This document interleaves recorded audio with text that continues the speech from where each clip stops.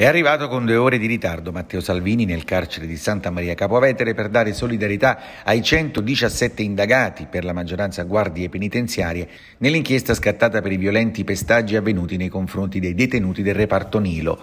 Una mattanza, come sarà definita da molti, ripresa dalle telecamere di sorveglianza e le cui immagini sono diventate virali sul web dopo la pubblicazione da parte del quotidiano Il Domani. Nelle due ore di attesa per ottenere compagnia e tanti giornalisti accorsi per intervistare l'ex ministro dell'Interno, ci hanno pensato i rappresentanti del Sindacato Autonomo di Polizia e la direttrice del carcere, Elisabetta Palmieri, che davanti alle telecamere ha raccontato di aver appreso l'intera vicenda dalla stampa. Immagini vedo tutta la frustrazione del nostro personale che subisce sempre, tutti i giorni e continua adesso là dentro. Se si imbicca un detenuto, il nostro collega lo salva. Testimonianze non lo so chi l'abbia detto, probabilmente anche da, eh, da denunciare chi, detto, chi ha detto una cosa del genere perché io ero assolutamente assente, sono stata assente per un periodo lungo per motivi di salute. Il, il, il eh, percorso giudiziario è appena iniziato, no? Giusto? Ci sono state delle misure cautelari, anche molto forti, dopo 14 mesi e ora è tutto da... cioè, voglio dire, quella è l'accusa, Adesso subentra la difesa.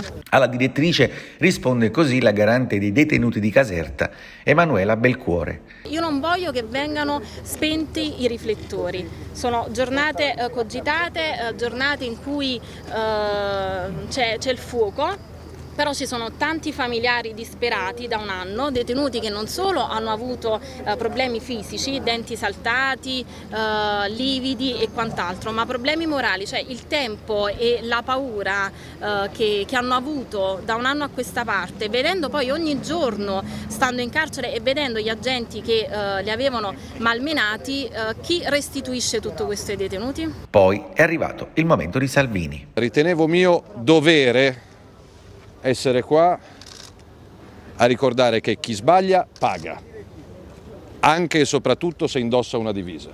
Punto. Questo però non vuol dire infamare e mettere a rischio la vita di 40.000 donne e uomini in divisa del corpo della polizia penitenziaria che rendono questo paese un paese più sicuro.